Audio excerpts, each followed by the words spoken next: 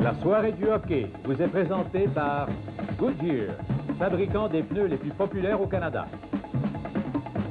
Ford Canada, au nom de ses concessionnaires Ford et Mercury.